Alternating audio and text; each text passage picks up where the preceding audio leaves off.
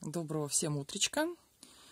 Как вы знаете, я переехала, продала дом за материнский капитал. Вот. И маленьким поделюсь сейчас, как, не знаю, секретом, лайфхаком, короче, услышанным от риэлторов. А, возможно, пригодится это кому-нибудь, каким-нибудь нормальным людям. То есть не нормальные какие-нибудь люди там или черный риэлтор, они без нас свои дела, как говорится, сделают. Но есть нормальные люди, у которых, например, там, ну, может быть, какой-то, ну, как я бы, если бы у бабули дом, например, не сгорел, хотела бы, например, бы выкупить его там, вот, и лишних денег как бы нету, накопления ничего такого нету, вот, а есть, например, материнский капитал, и вы хотели бы там, может быть, в аварийном состоянии выкупить э, домик там бабушки своей какой-то там, или какого-то там место, которое вам нравится, которое в не очень хорошем состоянии и под критерии материнского капитала не подходит.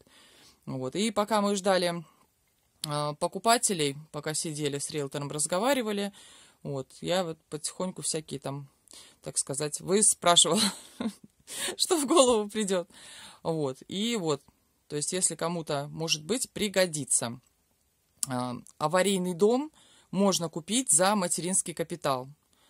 Э, всяко разно, там чуть ли, в общем, в таком виде, что мамочки мои, как, короче, ну, по, по ее рассказам, то, что продают. А, значит, смысл в чем?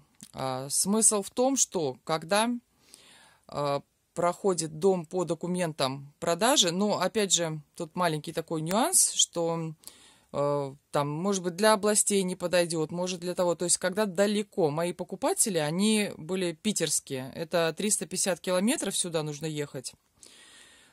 А, и получается, что, как ну, вот эти вот э, проверки, которые обязаны были бы быть, вот, если материнский капитал выдавался там, они оттуда и должны приезжать сюда, проверять э, дом. То есть они там здесь местным, как бы, ну, типа того, что не перепоручают как бы это дело. А, вот. То есть если вы получали в своей местности капитал, может быть, это будет как-то, ну, пройдет, не пройдет. А, в общем, смысл в чем, что, короче, ой, баба, а, они, я не знаю, ленятся, может быть, не хотят как-то ехать там такое вот расстояние. По документам дома, когда продаются, там не написано, что они аварийные. То есть до, документы берутся какие там, вот выписки всякие из ЕГРН, там, короче, э, подключение электричества должно быть. К аварийному дому электричество подключают. Электричество подключают к чему угодно. И до столба э, разводку доводят, то есть э, э, и на пустые участки, и, и в общем, короче, не могут отказать в подключении электричества, если дом аварийный. Вот.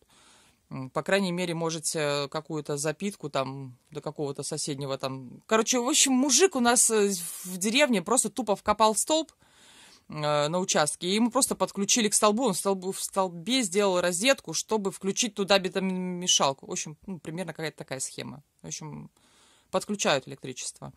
Вот. И вот план как бы самого участка, вот эти всякие выписки, ну и межевание, конечно, для продажи нужно сделать межевание. Вот. И там будет нарисован фундамент под, как бы под домом, вот эти вот очертания все. А верхушку, в общем, за все время продаж э, вернули только два договора. То есть, в принципе, это, ну, совершенно, это просто вы тратите, как бы, там, деньги можете затратить вот на какие-то, если сами будете делать, там, межевание, там, сейчас межевание на скале 12 тысяч стоит, я делать не буду. У меня на него не осталось. Вот. Э, то есть, это для продажи понадобится. Для продажи, для покупки, чтобы эти документы были. Ой, все, уже куда-то разговор в другую сторону ушел. В общем, смысл в чем? Что сделка безопасная. Сделка безопасная, штрафов за это нету и ничего за это нету. То есть э, надежда только на то, что не придет проверка. Э, за все время проверка приходила два раза, и два раза не разрешили под материнский капитал аварийные дома продавать. Э, то есть там туалет должно быть, водоснабжение какое-то. Ну вот как в моем предыдущем доме, там не было как бы пола. То есть, если приехал бы какой-то проверяющий, мой черновой пол, счел бы он за пол, это еще вопрос, в общем. Вот так вот.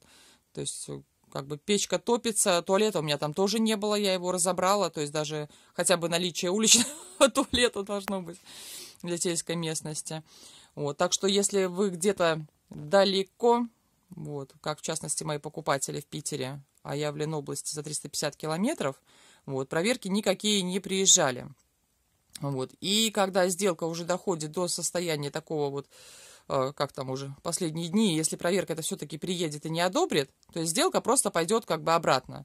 Ну, вы просто потеряете время. Я знаю, что просто есть люди, вот им и рассказываю, которые хотели бы купить аварийный дом.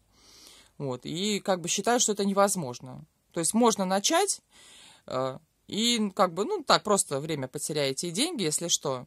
Но, видите, очень маленький процент. Если это все находится далеко, место получения материнского капитала и место, где вы хотите вот домик приобрести на него.